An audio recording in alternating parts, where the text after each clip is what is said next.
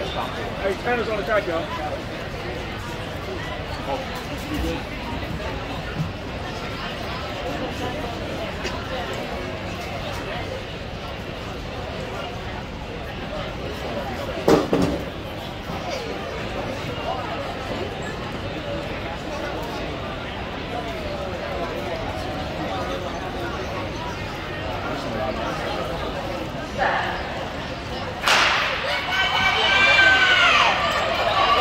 This is seat 7 of 15. Rose race on the outside. I think it was Tanner Leach of Thornton Holders holding off Daniel Kennedy.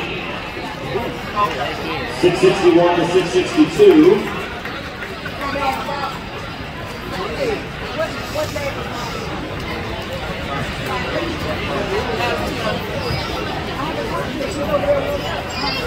I, I,